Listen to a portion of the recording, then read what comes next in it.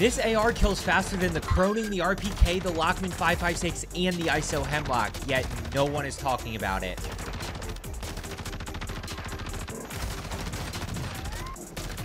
Here is the best build for the Tempus Razorback. Make sure to share this with a teammate and subscribe for more.